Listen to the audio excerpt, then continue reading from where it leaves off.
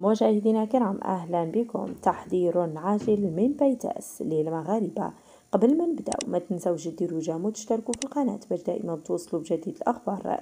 والآن إلى التفاصيل.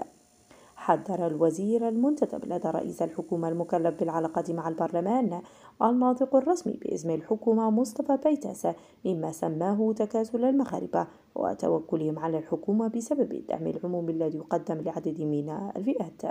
وأكد بيتاس خلال حلوله ضيفا على برنامج شكي مع هشام أن الحكومة ستحقق التزامها بتوفير مليون فرصة شغل للمغاربة مع نهاية ولايتها مشيرا إلى أن ذلك سيتم من خلال إصدار قانون الاستثمار والمشاريع المرتبطة بالماء ومساهمة قطاعات من قبيل السياحة الخدمات الصناعة بالإضافة إلى اقتناء طائرات جديدة ما سيرفع عدد مناصب الشغل في هذا المجال.